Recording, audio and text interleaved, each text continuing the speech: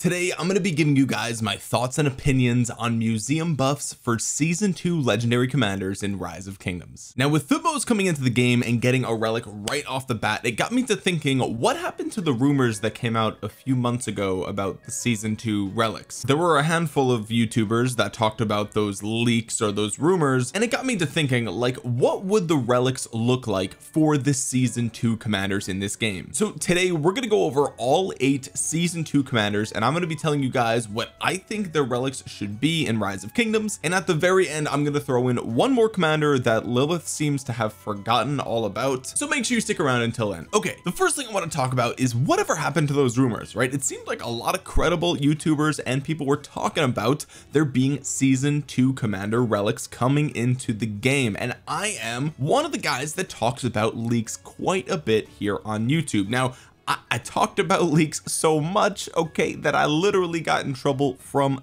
rise of kingdoms from Lilith from the developers. It got to the point where I had to actually reach out to Lilith and have them talk to their legal team and we we actually did reach an agreement so thank you Lilith for that. There are no copyright strikes on this channel anymore ladies and gentlemen. Let's go. Shout out to Lilith. But despite that okay despite the fact that I'm always pushing the boundary on what I'm allowed to talk about here on YouTube and oftentimes pushing it too far clearly I still never covered those leaks. And the reason for that is because they just they were were terrible leaks. It was obviously fake. The Photoshop was horrible and it was way too soon after the season one commanders got their relics. So to me it was like a no-brainer. Like yeah obviously this is nothing. So the rumors we know back then were fake. Just totally straight up. I'm being real with you. There are no rumors or leaks at this time. So then we have to ask ourselves well okay well what makes us think that the season 2 commanders are even going to get museum buffs right? Some of these commanders are already pretty good. We have Alexander the Great here. We have Saladin. These are commanders that people still use in season of conquest. So technically there's no guarantee that season 2 commanders will ever get relics. It could be the case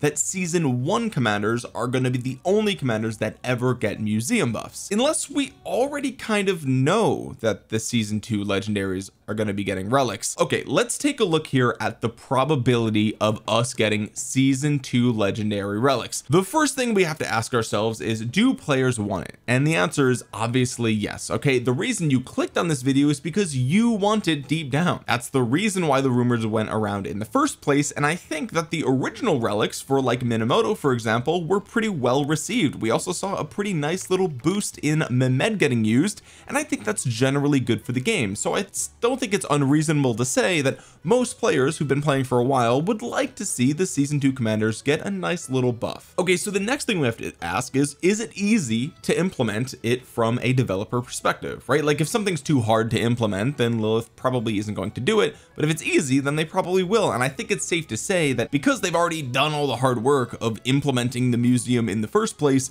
all the hard work is already done okay? So implementing more relics is not going to be hard for them at this point. It's just it's just as easy as throwing in new relics into a system that they've already built. They've already built out the, the the, coins and ways that you can get them with bundles and all sorts of other things. So the system is already in place and it would be easy for Lilith to do this which increases the probability that it'll happen. Arguably the most important thing though is will it make Lilith money? And with that I would say absolutely yes. Now one thing that you could argue is that like the season 2 commanders are are already pretty good right? I mean Alexander I mean come on. Alexander is still in my opinion uh, I released a YouTube short the other day. Go ahead and check it out if you missed it. But he made my top 10 lists of all legendary commanders in the game. So you can make the argument that because they're already so good if Lilith releases buffs to these commanders in the museum then people are going to be less likely to spend money on new commanders like Boudica Prime for example or maybe like Nevsky or Scipio right? Because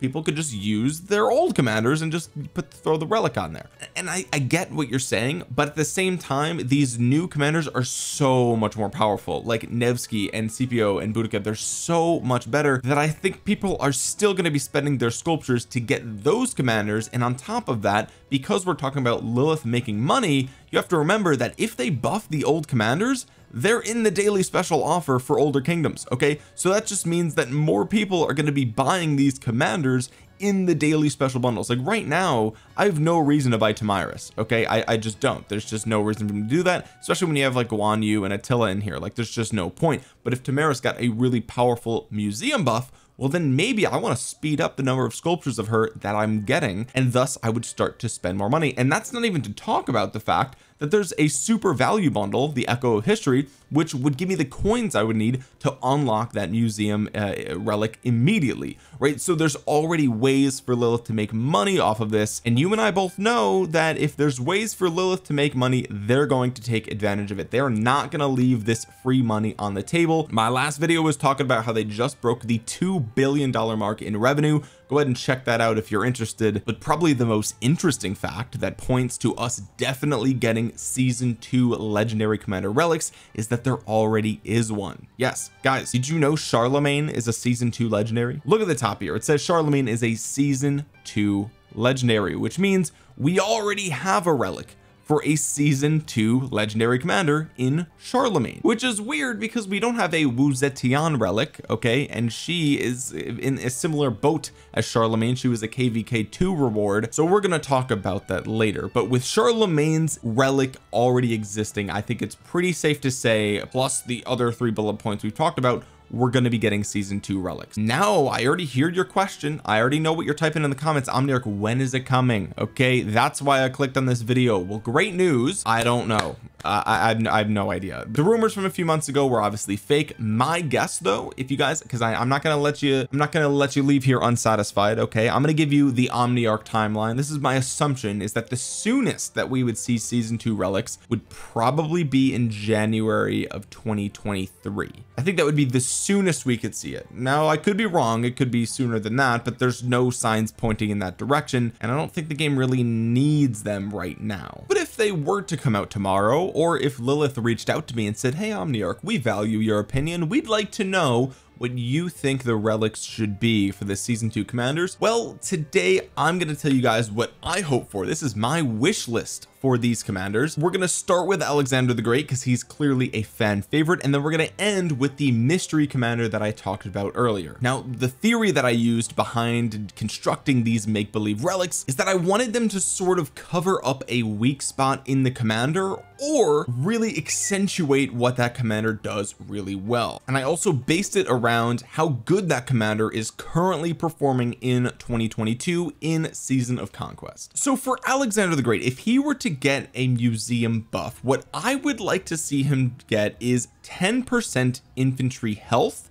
and take 5% less normal attack damage. Now why did I pick these two things? Well if you take a look at the museum here okay it's pretty it's a pretty common trend that the commanders will either get one main stat and then an additional variable or they'll get two main stats as you can see here with Martel or Minamoto. But if you look at someone like Mulan she gets a little bit of one stat and then an extra little variable there. So that's sort of the strategy that I used for building these blueprints. But from Alexander's perspective right he's doing a lot of really supportive and great things okay? He has decent single target damage. He's providing himself and other armies nearby with a shield which is very supportive by the way. And he also gives you a nice combination of a, a ton of attack honestly. A little bit of march speed and then in some instances he's getting defense. But one thing that I think uh, Alexander really is lacking unfortunately uh, is a little bit of tankiness. Now I know he does have the shield and honestly if you look at his kit he's trying to do a little bit of everything and that's one of the reasons why he's so good because all of his skills work in the open field. Um, but he, at the end of the day he's really not that tanky or he's not at least as tanky as I would want him to be given the fact that he doesn't have like AoE for example right? If you look at a, at a commander that has insane AoE and is a glass cannon like Xiang Yu or Nebu or YSG then I can sort of excuse them being a little bit on the on the weaker side because it's like you can't have both otherwise they're OP I'm looking at you Scipio okay? But regardless if I think if Alexander had 10% infantry health and took 5% norm less normal attack damage I think that would put him in a really good spot. Now released at the same time as Alexander is his tanky no damage dealing cousin Constantine okay? Now Constantine is a great 5511 commander but he does come around in the mightiest governor which makes him a little bit less accessible for free-to-play players that might want a 5511 commander. And realistically while he is very supportive and a decent garrison in season two he uh he doesn't really deal any damage. And he's also kind of a punching bag because he's really freaking slow. Have you ever tried using a Constantine in the open field? Dude he's so slow. It's insane. So I think a really cool relic for Constantine would be a 15 percent all damage increase. Now that I know I know that sounds like a lot. I know that sounds like a lot. And also a 15 percent march speed increase. I think that would be very solid on Constantine. Now I know you're saying hey 15 percent damage Omniarch that's like insane. What are you talking about? Nebu's got it on his fourth skill okay? Boudica gets 10 percent on her expertise. I, don't, I, I just don't think 15 percent all damage for Constantine would really be a, a game changer for him because he's really just dealing such little damage. I think that would make Constantine an even better secondary commander than he already is and he won't slow down that march to a point where it's just impossible to use because realistically Constantine falls off a cliff after season two. Just never used. Never and I'd love to see him make a return. I think that'd be really cool. Now if Alexander isn't your favorite season two legendary then it's probably Saladin. I know a lot of people love Saladin and he's a cool historical figure. His design in the game is sick. His skills are very good. He's a, a low investment insanely good value. Everyone loves Saladin okay? So if he got a relic people would be super excited about that. But I will say he's already very good he's already he's a very good commander that doesn't need that much more in season of conquest. I still see people use Saladin in season of conquest and up until Nevsky came out I did as well. And I, I actually want to continue using Saladin. I just I only have five marches right? I only have so much gear that I can put on these commanders. So we already know he's a little bit supportive. He is very tanky some single target damage there. What I would like to see on Saladin is five percent cavalry health right? Because he actually doesn't have any of that. He's very tanky but he doesn't have any cavalry health. And I also would like to see 10 percent counterattack damage reduction. That would make him a little bit more tanky than he already is. 10 percent less counterattack damage would be nice considering he's not dealing AoE when he's surrounded. So I think that's a very nice addition that they could put on Saladin. On top of that extra little five percent extra health I think would just be a nice little buff to make him just put him a little bit closer to Nevsky right now because I feel like Nevsky just really outclasses him like in every way. And same thing with Scipio and Alexander. There's just a just a big gap there. Next we're gonna move on to ugh we're gonna move on to Genghis Khan boys. Genghis Khan okay. Here's the thing about Genghis Khan okay? Uh, really nice single target damage factor considering the rage requirement is so low on him. He's got some nice march speed on here. Interesting bonus damage and and whatnot but he's just not there. He's just not there. I think Genghis Khan needs a Minamoto level of relic buff. What do I mean? I would like to see 25 percent cavalry attack and 20 percent cavalry defense. Why do I think it should be so high? Because he literally has none. Look he has no cavalry stats on any of his skills.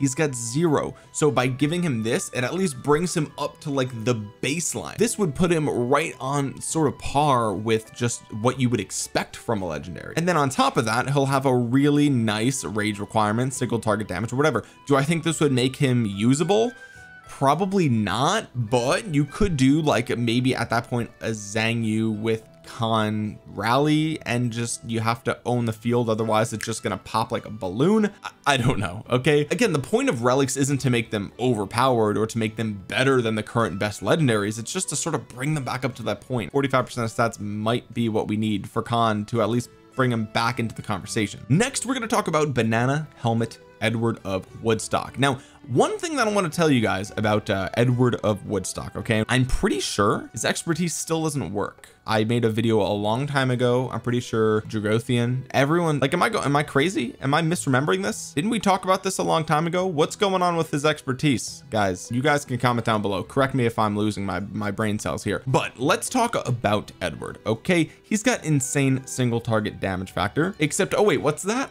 Honda does the same damage except AoE oh that's insane. Okay. So needless to say Edward really lost his shine when Honda came into the game and even way beyond that. Let's let's be real. He hasn't been relevant since uh, he came out for season two. I think he's already got 30 percent of health which is very good. I'd say give him 10 percent archer defense. Just make him slightly more tanky. I think that would be really nice. And give him 500 bonus damage factor to his active skill. I want to see this at 3k I want it to look like a nuke goes off when this guy dude the animation for Edward is so sick. It's just this gigantic bow and boom! It looks cool it looks satisfying but it's not as good as it used to be and I think if we bump it up to 3k I don't know with the extra defense hey maybe you might make a you might be able to make the case for Edward when you first go into season of conquest if you got nothing else for an archer rally that's all I'm saying. Speaking of Edward rallies you can't talk about an Edward rally without also talking about Tomyris okay? Now Tomyris has a very niche role and she's still used somewhat in season of conquest when you have people who have like Artemisia and they need a secondary and, and I think Tomyris brings some nice utility and helps you swarm down some targets in the open field but she's not really what she was supposed to be. She's a conquering commander for God's sake. She's supposed to be taking down cities. She's not supposed to just be poisoning a single target in the open field while everyone else kills it. What I would like to see for Artemisia is 15% archer defense to make her a little bit more tanky. I mean she gets 30% attack but only when she's hitting cities and then deals less counterattack damage? What? But then she gains 10% counterattack damage back when she gets her expertise? Were they really scared that she was going to be OP like what's going on here? But realistically she only has archer attack okay? So 15% defense I think would be good. And then I would say give her 10% extra normal attack damage. I think that would be really interesting for a commander with the attack tree. And also if you take a look at uh, at Edward the synergy there is that his expertise gives you 50 percent increased normal attack and counter attack damage. So it sort of elevates that. And I think that that would play with the synergy really nicely between these two commanders. And even if you don't use her with Edward even if you just use her as a secondary to somebody like Artemisia for example 10 percent normal attack damage would make it pretty punishing to have to go up against her okay? Next let's talk about Wu Zetian. At one point I remember Wu Zetian being an absolute savage garrison. I remember when she came out if I saw an expertise Wu in the garrison I was like we're chilling bro. We are chilling. We got no problems with this flag. We're just fine boys. And it turns out Wu is not really that great anymore okay? She's just outclassed by so many new garrison commanders. So what I think would be cool is give her 10% all damage okay? Just make her just let's crank up the damage output on this girl. She already gets 10% all damage by the way so give her 10% more. Just stack it on top of there throw it up there and she gets 15% less skill damage taken right? Let's go ahead and bump that up. Let's bump that up to 25 okay? Let's give her an extra 10% skill damage taken reduction. Let's see how she fares in that instance. I feel like maybe maybe she could be solid in a garrison or at least someone that you throw in as a secondary to someone. I don't know. It's just a shame that the one the Empress right? The the Empress Wu who used to be feared as a garrison commander is now not even talked about. She's not even in the picture. If you mention her it's a joke. Now I also want to talk about Charlemagne okay? Because we are talking about season two commanders and as you saw this is technically a season two commander even though I would argue that he's pretty much worse than every other commander already in the game. So would they add a second relic to Charlemagne? No I, I don't think so. In fact if they did anything with Charlemagne it would probably be to adjust his relic. So let's go ahead and take a look at his current relic and that'll give us an idea as to what we're sort of working with here. He gets 30 percent troop attack and 300 active skill damage factor. That is not enough. It's not enough okay? He's just so bad that this wasn't even close okay? So I think what we could do give him 40 percent troop health and 700 active skill damage factor. Okay bump that up to 700 and then we'll just see. That would only put his active skill at 2100 we already have commanders like Boudica and Nevsky. That are dealing more than that okay? And as far as the 40 percent troop health I mean sure it's universal for any troop type but I, I, don't know. I just feel like I feel like people probably wouldn't even still use him. You let me know down below. Would 40 percent extra health and 700 extra skill damage actually move the needle, needle for Charlemagne? Now let's talk about the mystery season 2 commander. Let's talk about the commander that Lilith forgot about. Let's talk about Lu Bu okay Lubu came into the game and was forgotten almost immediately. He just was not good and he was part of a marketing gimmick and then now you can't even get him. But he's so bad that I feel like they should give us a reason to use Lubu. I don't know. I just think it would be kind of cool. So if they gave a relic to Lubu who you could easily make the argument that he needs one and he also has no limitations to what kvk he can be used in so you could use him in kvk too. I would say that 30 percent increased defense and 600 damage factor buff to his active skill would be a nice starting place okay? Because when he's expertise that means that his damage factor would be 1600 three targets but you got to expertise him for that okay? Uh, but the troop defense I feel like would be really nice on him because he only has the the attack bonus here. And he gets even more attack if he's with Diaochan but you're not using him with Diaochan. Let's just be honest okay? That was just part of the marketing gimmick. So the troop defense might give him the opportunity to get somewhat decent trades maybe. And that's a big maybe because he's quite bad in this game but I do think that if they gave him a relic snaps would be very excited about that. If you guys don't know who snaps is okay I made a video talking about his Lu Bu account. Go ahead and check it out on my channel. Anyway guys that is my wish list for season two legendary commander relics in rise of kingdoms. I hope to see them at least by January of next year if not probably a little bit longer than that. Comment down below what you think of these buffs. Do you think that they're realistic? Do you think that they're too much? Do you think that they're not enough? I would love to hear from you guys in the comment section below. As always while you're down there drop a thumbs up on it. It really helps out the YouTube algorithm. Let me know if you like glasses omni or not glasses omni. It's a rare glasses video today. And while you're down there go ahead and subscribe to the channel and click that bell to be notified the next time I upload a rise of kingdoms video. With that being said guys thank you so much for watching. This has been omniarch. I will talk to you guys again soon. Peace